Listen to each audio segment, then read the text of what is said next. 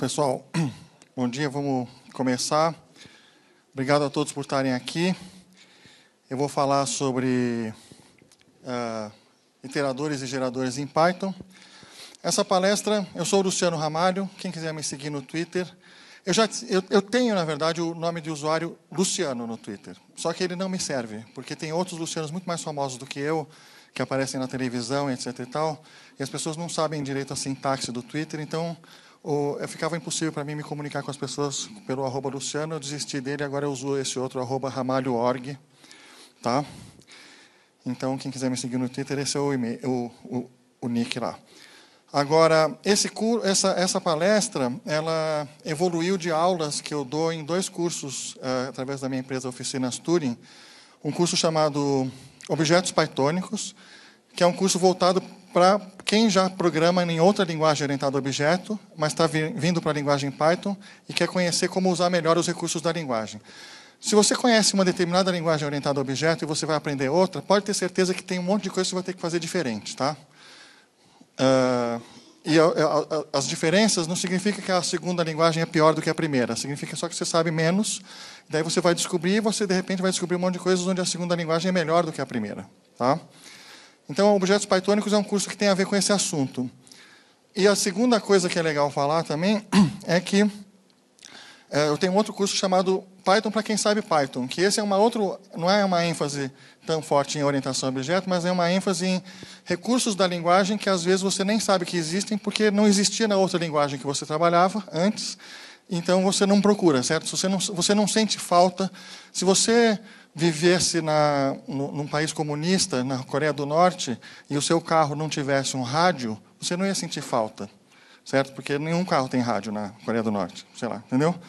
Uh, é por aí. Então você só sente falta das coisas que você já conhece. Então esse outro curso Python para quem sabe Python é para revelar recursos fundamentais e poderosíssimos da linguagem que talvez você não, nem tenha procurado na documentação porque você não sabia que existia. Tá? Então vamos lá. Uh, essa palestra também ela é parecida com uma palestra que eu apresentei o ano passado na Python Brasil e esse ano na PyCon Americana, só que eu dei uma reestruturada nela que eu acho que ficou mais legal. Tá? Uh, então vamos em frente. Eu começo com essa apresentação aqui do que, é o código de iteração na linguagem C, certo? Uma coisa bem fundamental, né? É um pequeno programa que compila, funciona e tal. O que ele faz? Ele exibe a lista dos argumentos recebidos pela linha de comando, tá? Agora, olha a versão Python do mesmo programa. Chocante a diferença, né? A versão Python é muito mais simples em várias dimensões. Primeiro, que a sintaxe é mais simples, não tem tantos caracteres ASCII variados. Segundo, que a parte de iteração é direto. Argv é uma lista de argumentos, eu simplesmente percorro essa lista e recebo os argumentos um por um, convenientemente nessa variável arg. Né? O cara que programa em C, coitado, ele tem que declarar essa variável i, ele não está minimamente interessado no valor de i, percebe? Só que ele é obrigado a declarar a variável i e gerenciar ela. E aqui, às vezes, comete erros, escreve i, é, mas é menor igual ou menor? O que, que eu tenho que botar aqui, entendeu? Gera uma série de erros, tá? Enfim, então essa complexidade foi, ela desapareceu no Python porque ela foi abstraída, tá? Uh, muito bem. Em Java, Uh, originalmente, em Java, para você fazer uma coisa parecida, você tinha que usar uma sintaxe muito parecida com aquela do, do, da linguagem C, certo? Mas a partir do Java 1.5, eles introduziram uma coisa que a documentação chama oficialmente de Enhanced For e que todo mundo chama de For Each, tá? Então, agora ficou mais uh, parecido com o jeito como se faz em Python, por exemplo, né? Porque você não tem mais a variável i, você recebe direto os argumentos nessa variável arg. Tá? Então você vê que demorou apenas 13 anos para eles perceberem o jeito certo de resolver esse problema. Tá? Uh, mas isso aqui é por causa do seguinte, tá? Python é uma linguagem que nasceu de uma outra linguagem chamada ABC, que é uma linguagem que, era, que teve a preocupação de, de pesquisar usabilidade de linguagem de programação. Tá? O Java não teve tanto essa preocupação, ela estava mais preocupada em atender às expectativas do programador C++ que estava quebrando muito a cara com C++, porque é muito complicado fazer coisa que não que funciona direito em C++, certo? Então, o Java foi, foi, é, veio por aí. Tá? O Python teve sempre essa preocupação de ser muito fácil de usar desde o início, por isso que eles perceberam de cara, até na linguagem que antecede o Python, chamada linguagem ABC, eles perceberam que o for tinha que ser desse jeito, porque 99% das vezes o for você quer os itens e não o valor do i. Tá? Bom, então o lance é como é que isso funciona? Isso funciona porque Python e Java possuem o conceito de objetos iteráveis. O que é um iterável? É algo que pode ser iterado, assim como comestível é algo que pode ser comido. Desmontável, algo que pode ser desmontado. Iterável, algo que pode ser iterado, certo? A partir de um objeto iterável, tem um jeito de você obter um iterador, tá? E o iterador é um, um, um, mecanismo que você pode invocar uma função next e que vai te fornecer sucessivos valores uh, pra, de uma, de, de, dos itens da, da coleção. Tá? Então, iterator é um design pattern, certo? Um daqueles design patterns documentados nesse famoso livro do, da, chamado Gangue dos Quatro. Esse é o diagrama que aparece lá no livro, mas esse aqui é um diagrama de um outro, é, uma outra publicação que eu tenho, que, é, que, a gente tem lá no Garoa, isso aqui, no Garoa Hacker Club, a gente tem um pôster pendurado na parede, que é o Head First Design Patterns Poster. É o pôster do livro Use a Cabeça Padrões de Projeto. Então, é um pôster grandalhão, e, e, lá tem essa figurinha aqui que mostra muito bem como é que funciona, qual que é a ideia do design pattern. Tá? A ideia é que essa moça, que representa um código cliente, ela quer acessar diferentes coleções, mas ela não quer se preocupar com as diferenças de implementação entre as coleções. Então, o que ela vai fazer? Ela vai instanciar um iterator, e uma vez que ela instancia o iterator, ela sabe que ela basta ela chamar next. Entendeu? Então, uh, fica igual, por exemplo, no caso em Java, o array list e o array são acessados de forma diferente os itens, né? Mas através do iterator fica igual a API, tá? Então essa é a ideia fundamental desse design pattern, tá? Como que ela se manifesta? Como que esse design pattern se manifesta em Python, tá? Em Python a gente tem uma interface chamada iterable. Mas como assim, Luciano? Interfaces em Python? Sim, gente, interfaces existem em todas as linguagens de programação, mesmo aquelas que não têm uma palavra reservada chamada interface. Tá? A interface é simplesmente a, a, a, a, lista dos métodos públicos que você expõe para os seus usuários, para os usuários da sua classe uh, ou da sua API. Tá? Muito bem. Então, uh, a interface iterable em Python é definida por exemplo, no, no módulo Collections ABC, tá? como dessa maneira. Isso aqui lá em Python a gente usa quando precisa definir, quando se deseja definir é, formalmente interfaces em Python, a gente usa classes abstratas. É como se faz em C++ também, onde também não tem a, a palavra reservada à interface. Então, essa, essa, essa essa classe abstrata iterable é que formaliza essa interface em Python. E o que está escrito aqui é que ela tem um método chamado underscore, underscore, iter, underscore, underscore. Tá? Como em Python usa-se muito essa convenção para as APIs internas de métodos chamado underscore, underscore, alguma coisa, underscore, underscore, e como é muito chato falar underscore quatro vezes cada vez, então o pessoal inventou de falar dunder. Tá? Não é Thunder que nem trovão, é Dunder. Double underscore, é uma abreviatura de double, double underscore. Então, quando eu precisar falar isso, eu vou falar Dunderiter. Tá? Então, o método Dunderiter, como é que ele funciona? Ele devolve uma instância de iterator. Tá? Normalmente, você não chama o, o Dunderiter di, di, direto. Quem chama é o Python. Por exemplo, o laço for internamente chama o Dunderiter. Tá?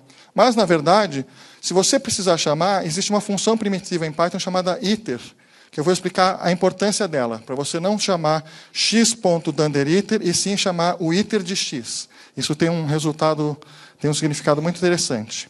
Tá? Bom, agora vocês viram que, olha só, repara que eu, eu coloquei aqui, ó, iterable, tá, underscore ali, eu botei sublinhado ali, ó, iterator. Tá? Essa é uma das coisas mais importantes de você entender, porque se você confundir o iterável com o iterador, fica muito difícil entender como é que esse, esse mecanismo todo funciona. Tá? Então tem que ter essa distinção. Tá? O iterável é o objeto que geralmente é uma coleção, com, através do qual você pretende iterar. O iterator é o mecanismo que executa a iteração e te entrega os itens um por um. Tá? Então essa distinção é importante. A interface iterator, ela é definida assim. Ela tem que fornecer um método chamado next. Na verdade, isso mudou. No Python 2 chama next, no Python 3 chama dunderNext. Tá? Mas, uh, se você precisar chamar, você não deve chamar objeto.next ou objeto.dunderNext. Você chama sempre o next do objeto, porque isso funciona nas duas versões do Python. Tá? Bom, então vamos ver como é que funciona na prática um, um objeto iterável em Python. Vamos supor que eu queira definir uma classe que representa um trem. Né? No, no, no, dialeto mineiro, trem significa qualquer coisa, certo? Então é qualquer coisa iterável. Um jeito de, por exemplo, esse aqui é um trem que eu instancio com três vagões. E aí, quando eu faço o laço for vagão em t print vagão, aparece vagão número 1, vagão número 2, vagão número 3. Portanto, essa variável vagão, ela está recebendo o valor de cada item, que são os vagões. Tá? Muito bem.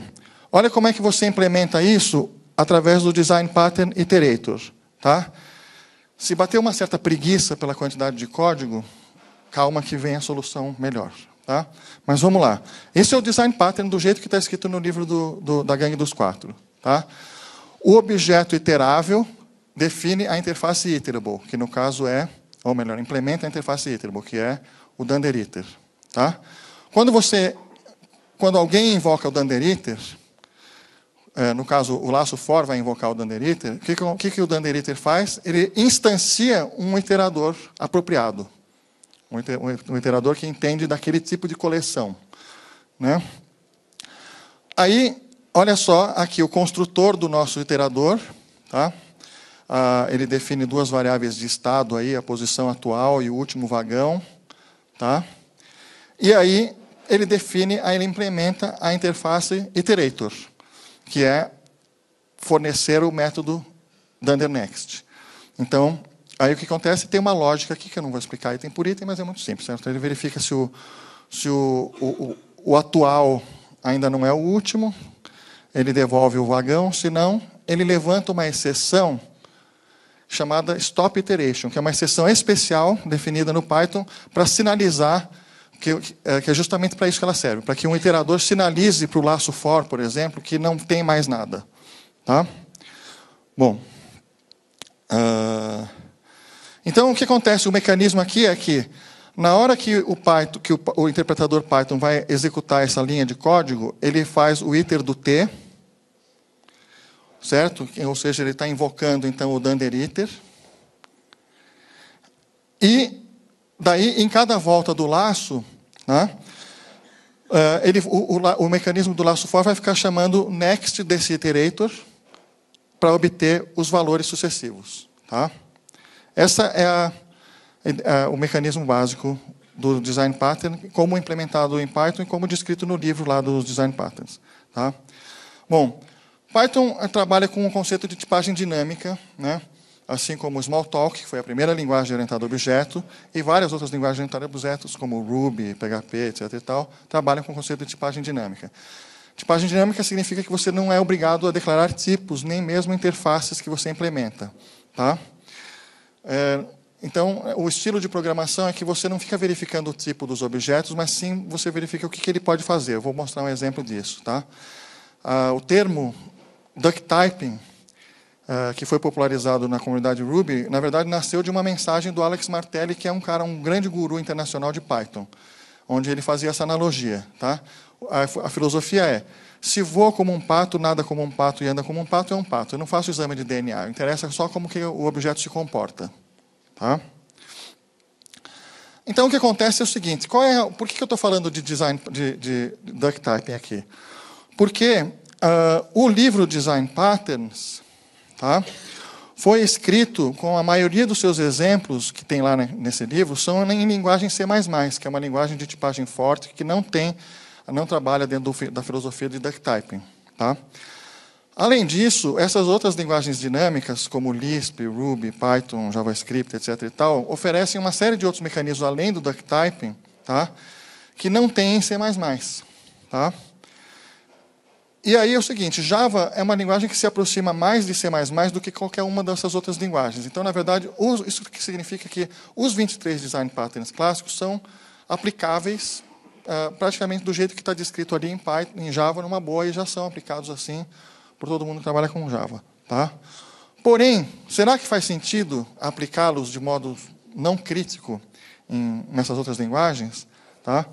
Eu estava pesquisando sobre esse assunto e achei esse slide aqui que é uma pérola. Tá? Olha, é de 96, tá? poucos anos depois de sair o livro Design Patterns, o Peter Norvig, que é um cientista importante que trabalha no Google e é professor de Stanford, se não me engano, ele fez essa apresentação chamada Design Patterns in Dynamic Languages. Tá? Na época ele estava envolvido com a implementação de uma linguagem chamada Dylan, e ele também gosta muito de Lisp e também gosta muito de Python. No livro dele uh, de, inteligência artificial, o pseudocódigo parece muito Python e todo o código do livro tem Python no, no site do livro e foi o próprio Norvig que implementou. Tá? Mas, enfim, nesse, nessa apresentação, ele falava o seguinte, olha, nessas linguagens dinâmicas que ele estava falando aí, e Python e Ruby tem muitos dos recursos que tem nessas linguagens também, ele fala o seguinte: 16 dos 23 padrões do livro são ou invisíveis ou mais simples. Ou seja, a maioria dos design patterns nessas linguagens dinâmicas, para ele, não devem ser aplicados do jeito que está escrito no livro. Tá? E aí ele explica os motivos. Tá? Ah, o iterator está dentro da categoria macro. Tá? Macro é um recurso que tem em Lisp que permite você mudar a sintaxe da linguagem, na verdade. Tá? É, com macros em Lisp, você cria novas palavras reservadas, que você cria novos mecanismos de avaliação de expressões na linguagem. É uma coisa muito poderosa, poucas linguagens têm isso aí. Tá? Ah, mas ah, o Python não tem macros, e nem Java. Então, como é, que se, como é que esse padrão iterator foi incorporado nessas linguagens? Através da introdução de novas palavras reservadas e novas sintaxes. Entendeu? Então, é isso que, esse é o fenômeno que nós estamos observando aqui. Tá?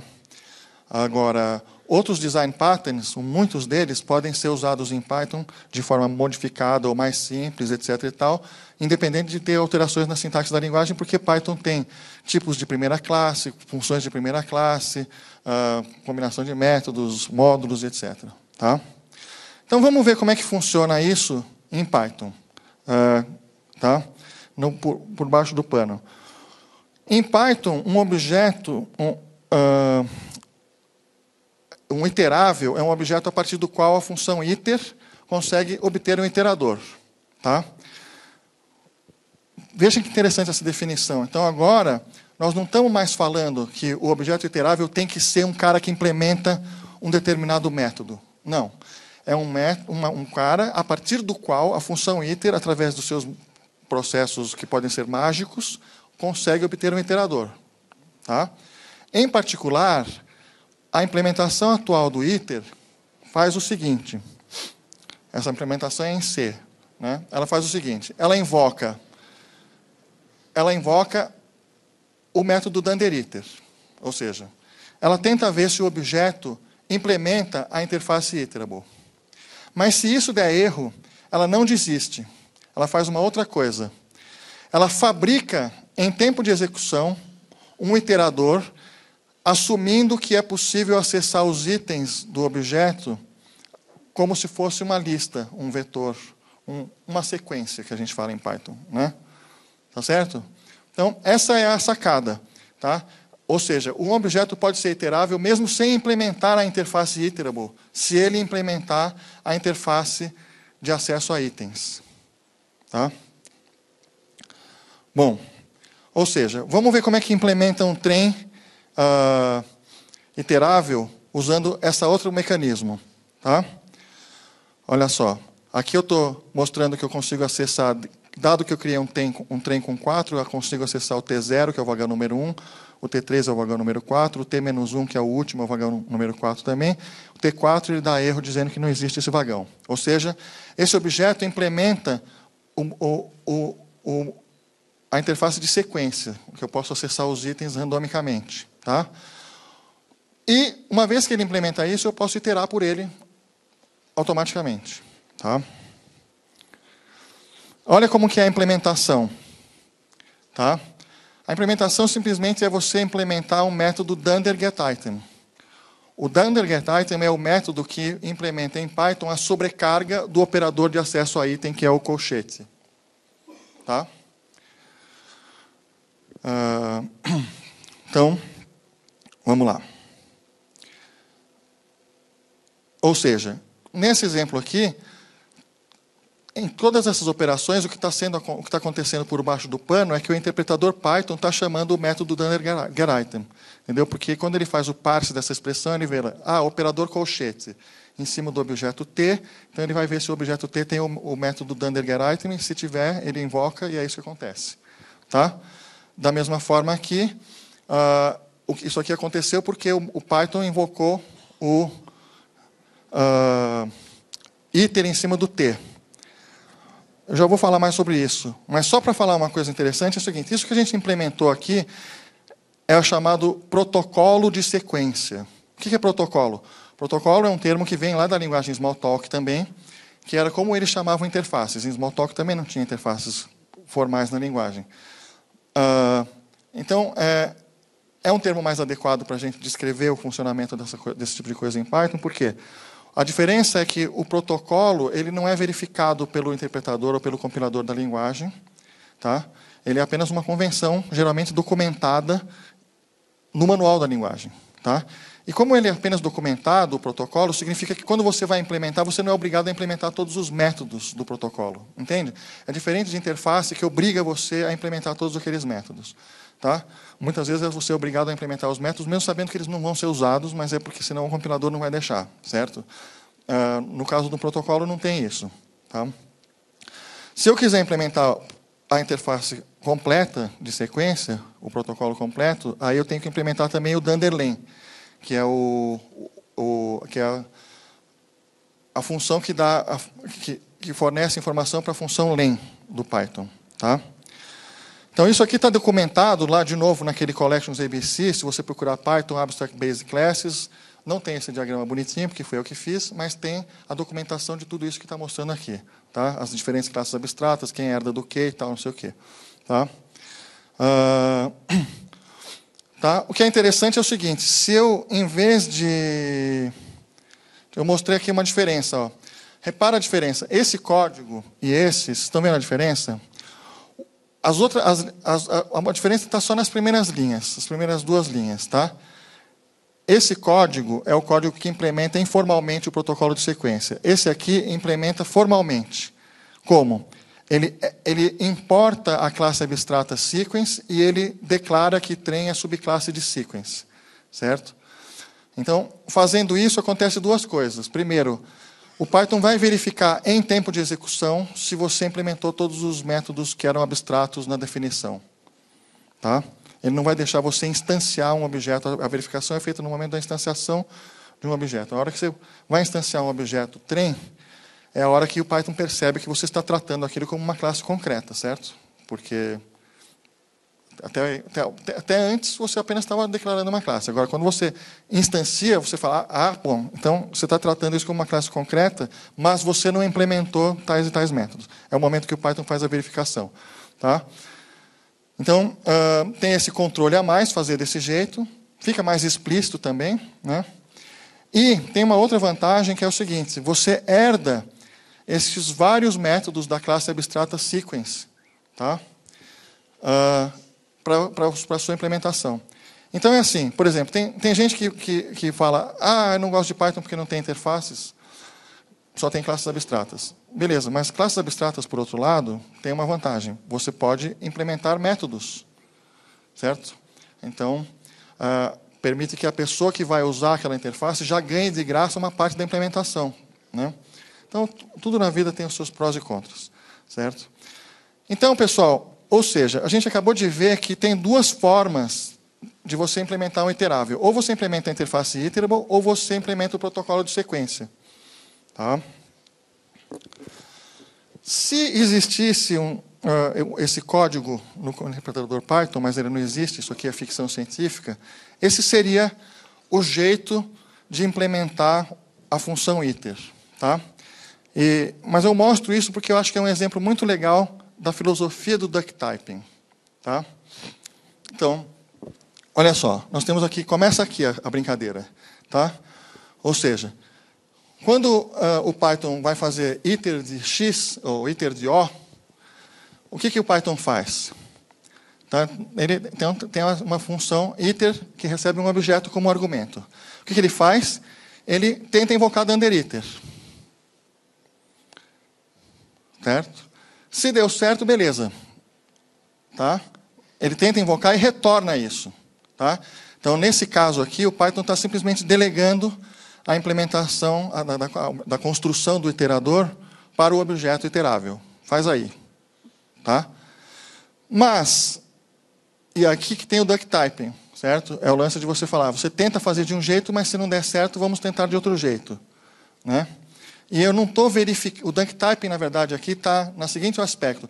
Eu não estou verificando explicitamente se o objeto herda de uma classe X ou Y, se ele implementa a interface X ou Y, entendeu? Aqui usa, tem uma outra frase que se usa muito na linguagem Python que eu acho legal, que é assim: é mais fácil pedir desculpa do que pedir licença. Tá? Então, isso aqui é exatamente um exemplo dessa filosofia. Você tenta fazer, se não der certo, opa, beleza, você trata o erro e vamos em frente. Entendeu? Ah, bom, então, se não der certo essa tentativa, o que, que a gente faz? Né? O erro que vai dar nesse caso seria um attribute error. Né? Então, daí a gente instancia o iterador sequência e devolve ele. Tá? Agora, vamos ver como que é o iterador sequência. Então, o init do iterador sequência, a primeira coisa que ele faz é tentar acessar o primeiro item da sequência através de sec0. Entende? Que ele está farejando para ver se aquilo é, dá para acessar desse jeito. Né? Se, der para acessar, se, se não der para acessar desse jeito, ele levanta uma exceção dizendo objeto não iterável. Tá? Então, só nesse ponto aqui que o Python desistiu, falar, não dá para iterar isso aí. Ele já fez duas tentativas. Né? Bom, se der index error, que é uma outra coisa que pode acontecer, pode ser que não tenha um item zero, uh, pode ser uma sequência vazia, sei lá, eu não vou fazer nada nesse caso, porque o lugar certo de tratar isso seria no dunder next. Tá? Aí eu instancio essas duas, eh, eu inicializo essas duas variáveis da instância do, do iterador, né? sec, que é a sequência, e index, que começa com zero. Daí, toda vez que o cara chama next, eu tento acessar aquele item pelo índice.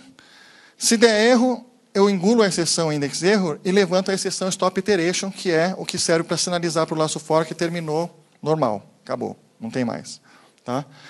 Se não, uh... opa, desculpa. Se não, eu incremento o, o, índice e devolvo o item que eu já tinha acessado antes. Tá? Então, essa é a lógica do, do mecanismo por dentro. Tá? Uh, eu não li o código em C desse mecanismo, para falar a verdade. Tá? Isso aqui é engenharia reversa de observar o comportamento dele. Tá? Bom, uh, então, repara que nós temos aqui a implementação do iterator no pattern clássico e essa outra implementação apenas implementando o getItem. Então, é um outro jeito mais simples de implementar um objeto iterável. Tá? Porém, essa implementação ela tem um defeito, né? Quer dizer, ela funciona para alguns casos, mas ela, ela me obriga também a cumprir o contrato do acesso posicional ao item, certo? Se o cara pedir o item 17, eu tenho que entregar para ele o item 17, mesmo que ele não tenha visto ainda o 0, 1, 2, 3, 4, entendeu? E nem sempre as suas coleções se comportam desse jeito. É des... nem sempre é desejável que a coleção se comporte desse jeito. Às vezes você quer fazer uma coleção uh, que você só consegue entregar o próximo item, por questões de eficiência, por exemplo. Tá? Então, essa implementação pode ser útil no caso quando você já está querendo mesmo, de qualquer jeito, implementar o acesso randômico via item, mas se você não precisa disso, essa implementação uh, introduz uma complicação. Tá? Bom, existem muitos objetos iteráveis em Python. Tá? uh, strings, arquivos em Python são iteráveis diretamente. Você não precisa usar método read. No, no, no método read não você precisa. Você não precisa. Não, você não precisa usar o método read, é justamente isso. É. Você, você itera direto pela, pela, pelo, pelas linhas do arquivo, tá? Enfim, dá uma lida sobre isso. Fica muito elegante e bonito de ler o código em Python, da, da iteração no arquivo. Um, um query set em Django é um exemplo de uma coisa iterável, tá? Uh, Agora, eu vou mostrar uma coisa para vocês aqui, que em vez de mostrar aqui os slides, eu vou mostrar ao vivo, que é mais divertido. Tá? Ó. Então, ó, eu já digitei essa linha aqui anteriormente. Então, uh, eu tenho aqui um shell de Django né, rodando. Né? Para quem não conhece o Django, o Django tem um shell interativo, assim como o Python. Né? Ele aproveita o, o, o shell interativo do Python e coloca alguns recursos a mais, permite que eu me conecte numa aplicação e acesse o banco de dados dela e tal. Uh, existe um, um, um atributo desse objeto connection que só existe em modo debug, e aqui nós estamos em modo debug porque nós estamos acessando o shell, que é esse atributo queries, que eu vou atribuir à variável q. Então, essa variável q agora é uma referência ao atributo connection queries, né, que permite que eu veja o que, que tem lá dentro. Então, no momento, nós temos uma lista vazia. Tá? Muito bem. Para que serve o Connection Queries? Ele vai armazenando, só em modo debug, um log das, de todas as queries que o Django está mandando para o banco de dados. Serve para você depurar o SQL que está sendo enviado, serve também principalmente para, identificar problemas de desempenho. Tá? Às vezes, o ORM do Django coloca você num mundo maravilhoso de fantasia, que você acha que está lidando com objetos, mas na verdade é um banco, banco, banco de dados relacional, e de repente você está fazendo trocentos joins, ou pior ainda, múltiplas uh, queries para mostrar uma única página, ou queries dentro de loop, né, aquele problema famoso que acontece em sites mal feitos, né, dentro de um laço for na interface, o cara está fazendo queries a cada linha. Enfim, tudo isso, esse, esse recurso aqui do Connection Queries permite você identificar o que está acontecendo realmente na conversa entre o Django e o banco de dados. Tá? E aí é o seguinte, uh, se eu...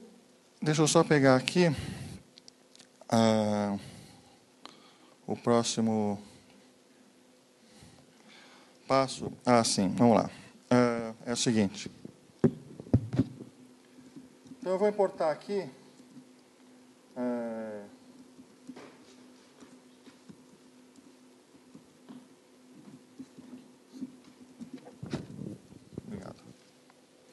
Obrigado, Bruno. É, e aí, eu vou fazer uma query, tá? Por exemplo.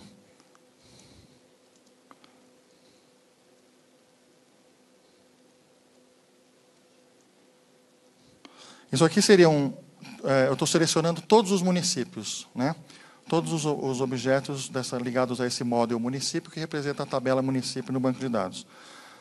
Mas, na verdade, eu vou só usar os cinco primeiros. Tá? Obrigado. Valeu. Então, olha só, pessoal. Então, quer dizer, isso aqui que eu fiz é altamente ineficiente, né? Meu Deus do céu, porque eu selecionei todos e aí falei, ah, não, mas na verdade eu só quero os cinco primeiros, tá? Mas será que é ineficiente mesmo? Vamos olhar o que o Django fez. Nada. Hum. O Django não acessou o banco de dados ainda, tá? Esse objeto query que o Django usa para manipular o banco de dados é uma coleção que você pode iterar por ela, é um objeto iterável, mas ela é preguiçosa. Ela só acessa o banco quando precisa mesmo. Então, se eu fizer o laço,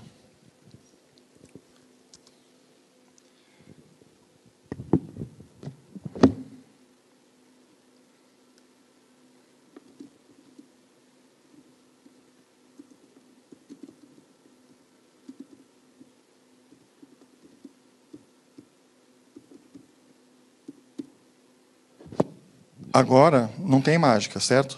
Para fazer isso aqui, não tem telepatia, ele teve que acessar o banco de dados. Tá? Então, veja que interessante. O objeto recursive, ele é um objeto iterável, só que ele é um iterável que uh, só faz o trabalho durante a iteração mesmo, o trabalho de acessar o banco de dados. Tá? Então, isso que o termo técnico disso é lazy iterable. É um iterável preguiçoso. Tá? Então, Vamos entender como é que isso funciona em Python, como que isso é implementado por baixo do pano. Tá? Bom, para isso a gente vai abordar um outro exemplo e uma outra função mais simples do que um query set, um outro mecanismo mais simples do que um query set em Django, tá? que é o seguinte. Vamos supor que eu queira fazer esse outro programa aqui. Tá? A diferença desse programa aqui em relação ao primeiro exemplo é que agora eu quero exibir o número ali. Certo? Então agora a variável i não é mais uma coisa inútil.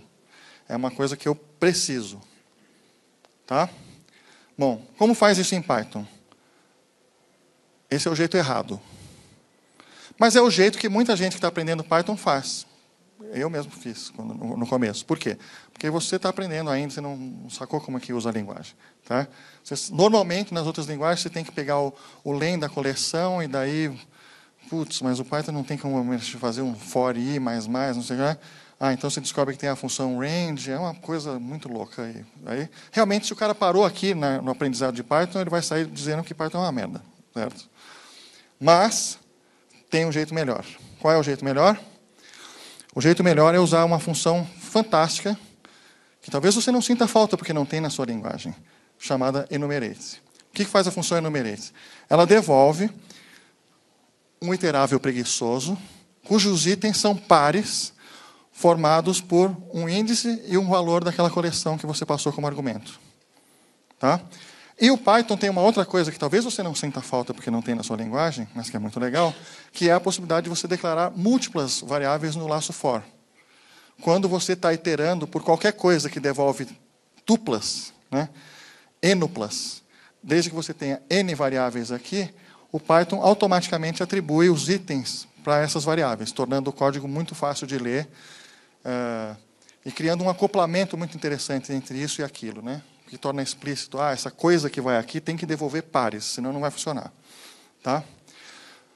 Bom, uh, muito bem. Como funciona a função enumerate?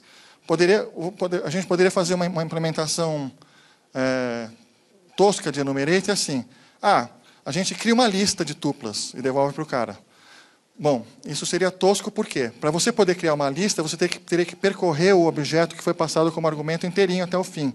Porque uma lista né, é uma estrutura de dados que já uh, não é preguiçosa, certo? É uma estrutura de dados que já vem preenchida com, seu, com, a, com a informação. Então, se você quisesse construir uma lista, fazer um enumerate em cima de uma query que retorna 10 milhões de registros, você teria que puxar do banco de dados 10 milhões de registros, para daí duplicar toda essa informação em memória nessa outra lista que você daí vai colocar um i na frente. Então, não está certo isso, certo? Então, a forma como isso é feita é que usa-se o iterável preguiçoso. Olha como funciona isso. Ó. Se você for no interpretador interativo em Python, escrever enumerate de qualquer coisa iterável, o que você obtém como resultado, esse E aqui, é um objeto enumerate.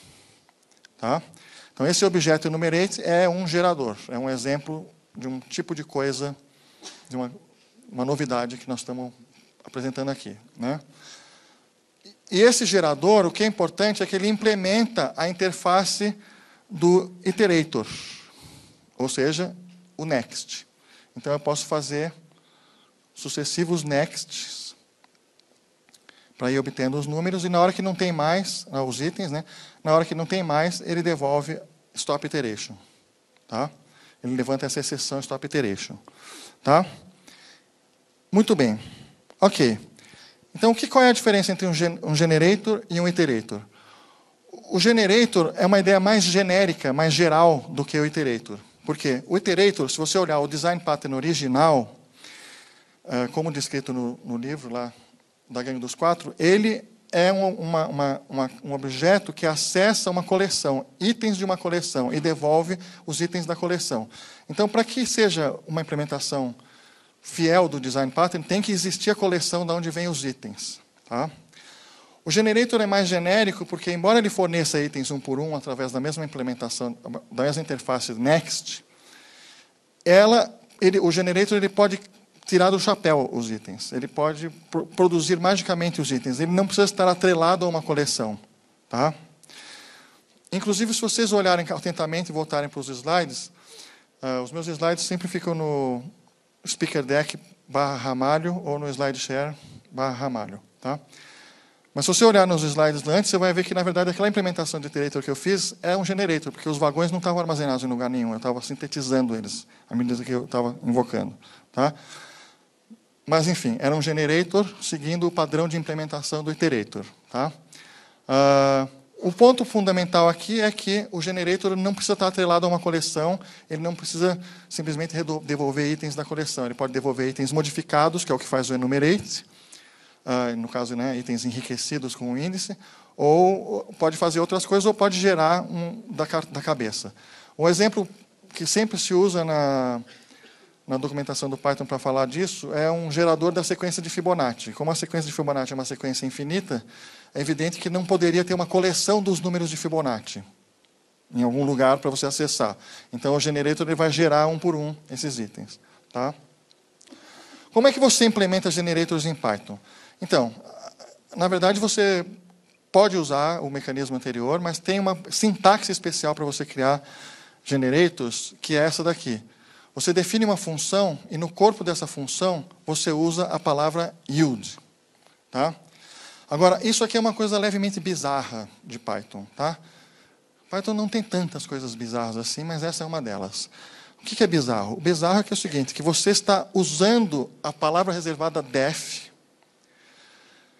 Está vendo? Mas repara que quando eu invoco, que def geralmente é para você definir funções, certo? Só que quando eu invoco essa coisa, está vendo? Aqui, ó, o que eu recebo não é um valor de retorno da função, que é o que as funções fazem geralmente. O que eu recebo quando eu invoco é um objeto gerador, tá?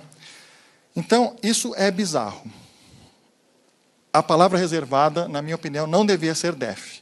Inclusive, historicamente, na discussão sobre a implementação dessa feature na linguagem, chegou a ser proposto usar a palavra reservada, introduzir a palavra reservada gen. Tá? Para ficar claro, se você vê gen alguma coisa, ah, opa, o cara está definindo um, um, um iterador. Tá? Mas você usa def, e o lance é, def, você vai definir uma função. Só que, quando o interpretador Python encontra no corpo da função a palavra reservada yield, ele fala, ups, isso aqui, quando, quando eu compilar isso aqui, não vai virar uma função, vai virar um, uh, uma função geradora, que é um outro bicho. Tá? Então, é um pouco esquisito isso. Didaticamente, eu acho que seria mais legal ter adotado a função, a, a palavra reservada gen. Mas o Guido van Rossum, que é o cara que inventou o Python, odeia introduzir novas palavras reservadas na linguagem, e então ele não introduziu mais uma. Tá? É, pode ver essa estatística, é verdade. Entre as linguagens mais importantes, assim, qualquer estatística, assim, as linguagens mais populares, pega as 10 mais populares, Python é de longe a que tem menos palavras reservadas, comparado com Ruby, JavaScript, Java, C. É bem engraçado isso, é, é fato. Tá? Muito bem. Então, olha que coisa bizarra. Essa função geradora é uma função geradora meio engraçada, que eu uso assim para fins didáticos, né? Mas uh, eu, vou, eu, vou, eu vou até implementar ela aqui, porque ela, vale a pena ver ao vivo.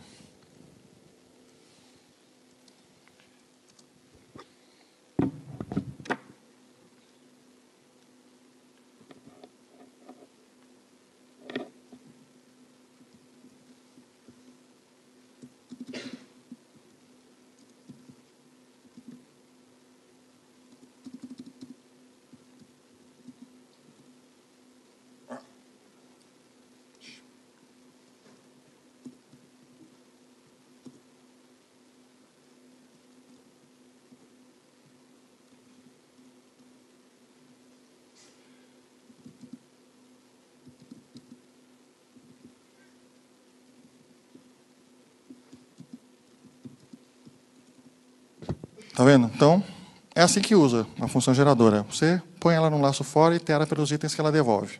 Beleza. Só que aí é o seguinte, né? O lance é que ela é um objeto, né? Ela devolve um objeto que é um objeto gerador. E esse objeto gerador, se você olhar para a estrutura dele, né?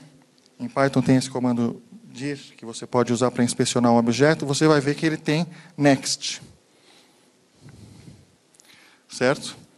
Então, ele é um iterator. Ele implementa a interface iterator. O generator implementa a interface iterator. Tá? Vamos ver um outro exemplo para investigar mais detalhadamente esse comportamento. Tá? Esse, esse exemplo aqui. Ó.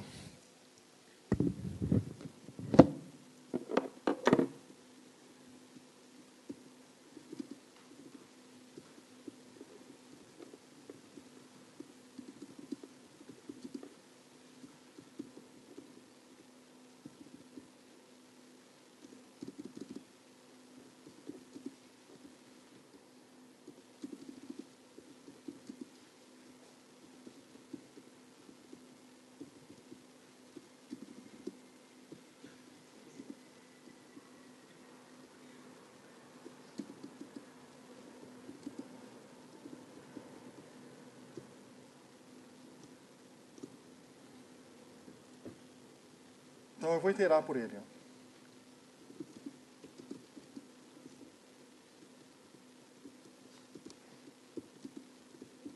Mas eu vou botar um sinal aqui na frente dizendo o que, que ele retornou, entendeu?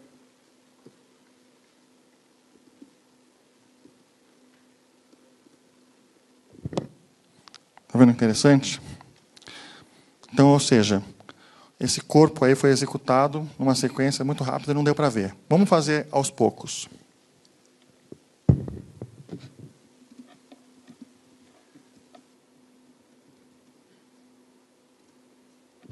Repara, nada do corpo da função foi executado. Tá? Quando você invoca a função geradora, ela constrói o objeto gerador e devolve o objeto gerador. O corpo da função só vai ser executado a hora que você acionar, a hora que você iterar pelo objeto gerador.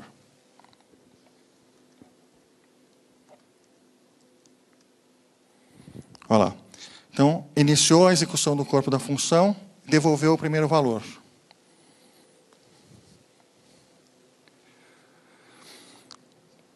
Nesse ponto, o que tinha acontecido é que a, a, função tinha ficado congelada.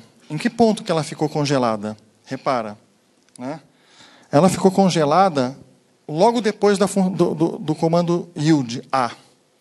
Ela não executou o print o segundo print. O segundo print só foi executado quando eu pedi o próximo next. Tá?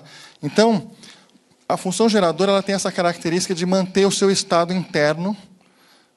Né? Ela tem esse, esse ponteiro de execução interna que vai avançando à medida que você uh, chama next. Tá? Repara que nesse caso aqui, ó, uh, o segundo next que eu chamei apareceu continuando B, mas não apareceu ainda terminando. Né? O terminando vai aparecer agora, junto com a exceção stop iteration, que na hora que termina o corpo da função, aí o objeto gerador falar, não tem mais nada aqui para gerar, então levanta a exceção stop iteration. Tá? Então, pessoal, olha que interessante.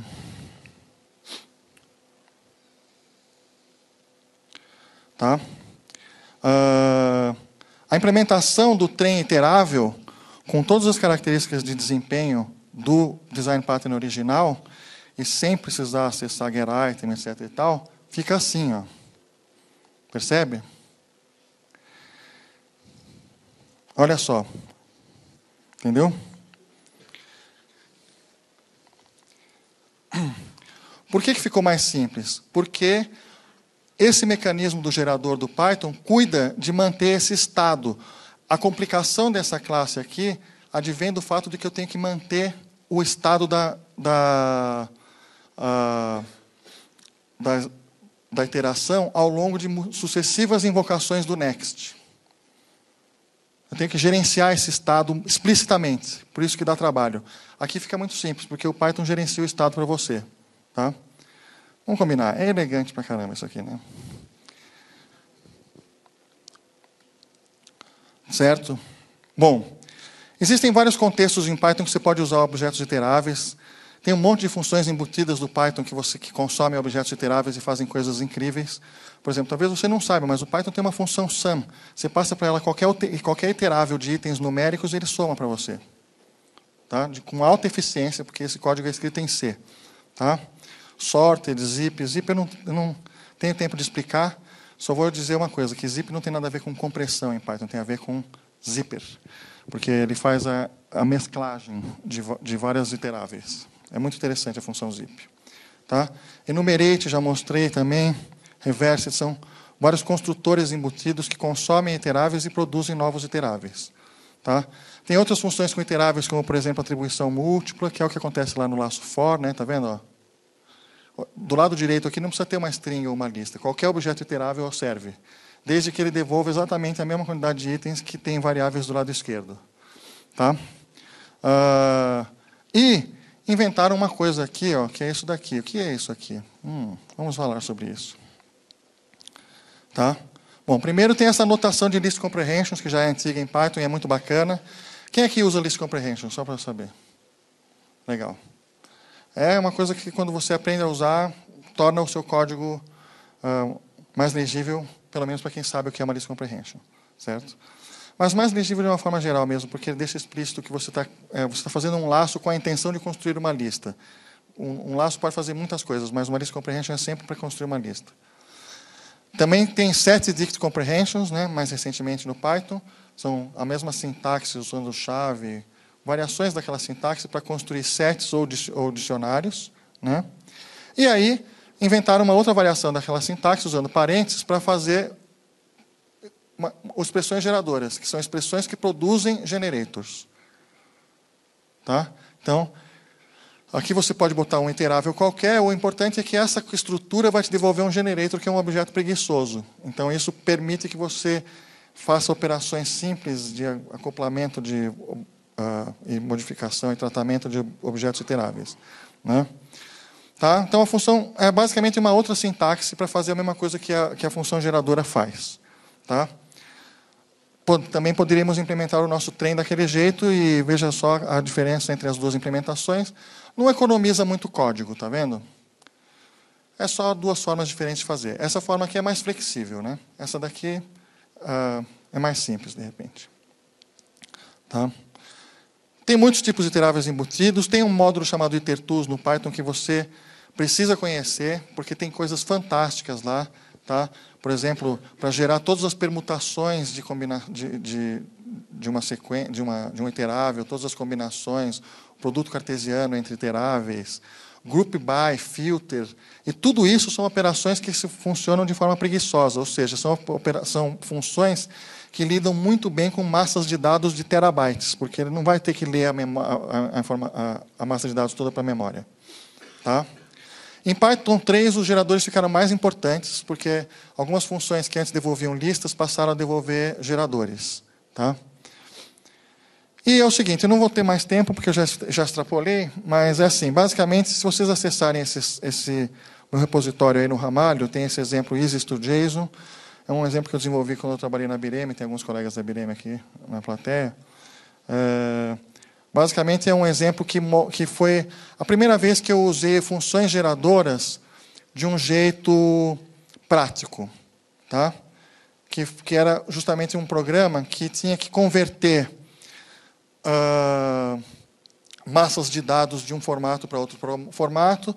Daí apareceu a necessidade de eu suportar um segundo formato de entrada.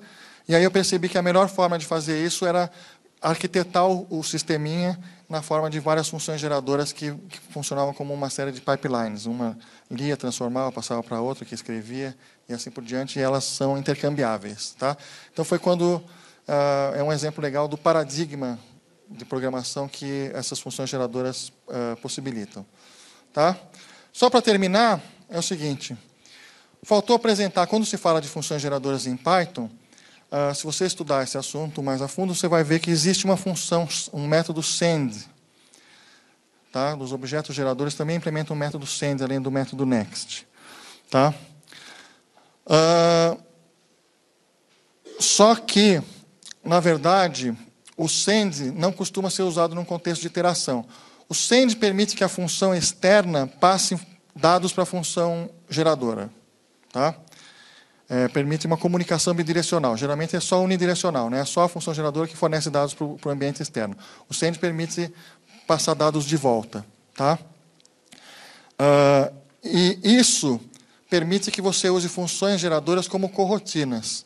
Corrotinas é um assunto vastíssimo, uh, teria que dar um curso inteiro, mas é um assunto que está ganhando muita importância porque é um jeito muito melhor de trabalhar com programação assíncrona do que aquelas pirâmides de callbacks. Tá? Então, os frameworks de programação assíncrona em Python estão usando cada vez mais uh, coroutinas, usando funções geradoras e a função send, para fazer esse tipo de coisa. Mas o David Beasley, que é um, um guru importante, autor de livros de Python tal, ele dá essa dica. Quando você for estudar funções geradoras, esquece o send. Porque o uso básico e fundamental de funções geradoras no contexto de iteração, você só usa o next. Se você começa a usar send, na verdade você já está usando funções geradoras para uma outra coisa que não é relacionada ao tópico de, de iteração. Entendeu? Então é uma dica didática. Esquece do send por enquanto, antes de você dominar funções geradoras, daí quando você dominar, você vai estudar o send. Tá bom? E, para terminar, eu quero mostrar um slide que eu botei no começo, mas acabei pulando sem querer, que é o seguinte: nós temos todo ano a Python Brasil, que é a nossa conferência de Python. Esse ano ela vai acontecer em Brasília e localizada no mesmo espaço, um centro de convenções fantástico lá em Brasília, junto com a PloniConf. A PloniConf é a conferência mundial de Plone. Plone é um sistema gerenciador de conteúdo muito importante, uh, usado, pelo, por exemplo, no site do FBI, no site da CIA, em vários sites do governo brasileiro e tal. Né? E a PloneConf mundial, pela primeira vez, está acontecendo, ela sempre muda de país, né, mas essa é a primeira vez que ela acontece no Hemisfério Sul e está acontecendo no Brasil e vai ser junto com a Python Brasil no mesmo espaço, uh, compartilhando keynotes e tudo. E isso vai acontecer de 2 a 4 de outubro de 2013. Tá bom? Bom, é, enfim, já extrapolei um pouco do meu tempo. Se alguém tiver uma pergunta, uh, estamos abertos para perguntas. Se não, vamos almoçar. Eu estou aberto para milhares de perguntas na hora do almoço. Um recado enquanto vocês pensam na pergunta é Fabrício Jimenez é para ir até o stand da Global Code, se tiver aqui. E aí, pessoal, alguma pergunta? Pois não.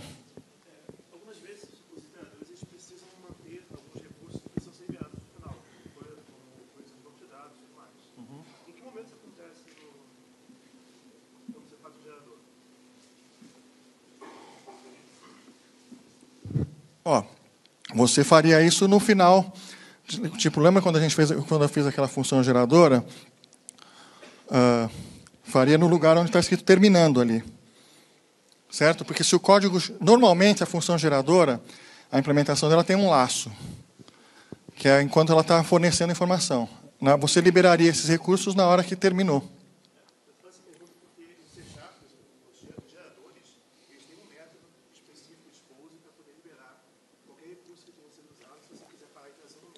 Uhum.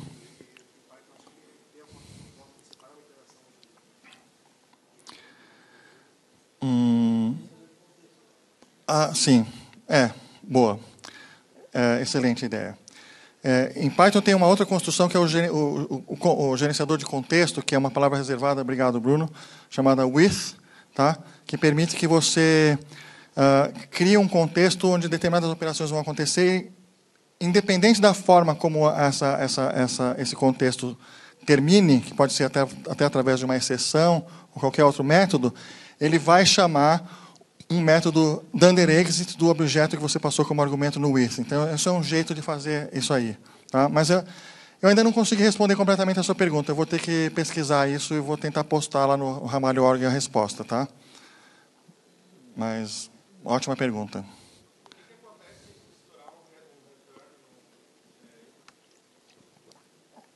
Quem está que tá fazendo a pergunta? Desculpa. Ah, tá. Se você fizer um return no generator, o que acontece é que a, ah, a sua função terminou. Então, o objeto gerador, que é uma coisa que foi com o Python que construiu, vai levantar uma exceção stop iteration. Não, não resolve, porque o que ele está falando é uma API externa. Ele, ele, ele quer que o código que está consumindo o gerador tenha um jeito de comunicar para o gerador terminar. Tá? Uh, é isso.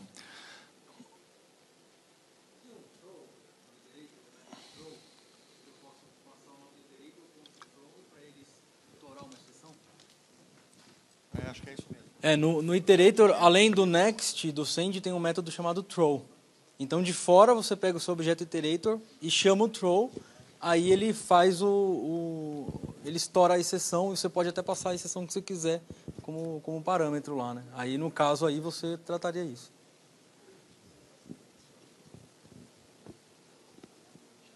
É, o throw é o último ali.